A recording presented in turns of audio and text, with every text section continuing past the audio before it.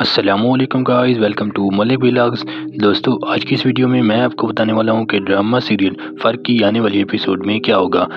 तो दोस्तों, वीडियो शुरू करने से पहले गुजारिश है कि वीडियो पसंद आए तो वीडियो को कर दें लाइक।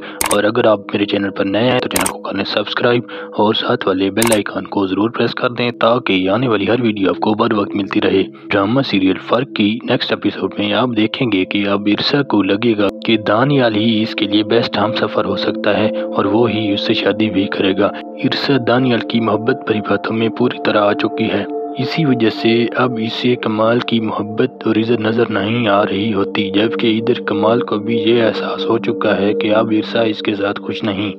पहले तो वो जमशेद से अफेयर चला रही थी, अब अगर जमशेद रास्ते से हट भी चुका है तो वो दानियाल से बार बार मिल रही है। इसी वजह से कमाल भी इरसा से दूर हो जाएगा, जबकि इरसा भी दानियाल से शादी करने का फैसला कर लेगी और कमाल से तलाक लेने का फैसला भी करेगी।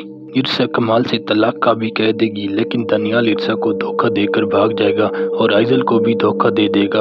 अब इरसा के पास सिवाय पछताने के कुछ नहीं बचेगा। इसी तरह कमाल की फुफ्फू कमाल को डांटेगी कि देखो, तुमने इरसा को ढील दी, जिसकी वजह से वो बिगड़ गई, और आज तुम्हें छोड़कर वो दनियाल से शादी करने के लिए तैयार बैठी है।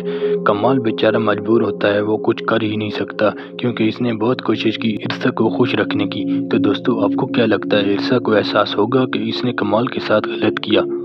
अपनी राय कमेंट सेक्शन में ज़रूर बताइएगा। अपना बहुत सारा ख्याल रखिए। अल्लाह हाफिज़।